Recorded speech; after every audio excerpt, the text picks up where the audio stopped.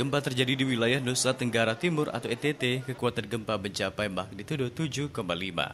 Peringatan dini tsunami dikeluarkan BMKG atas gempa tersebut pada Selasa 14 Desember 2021.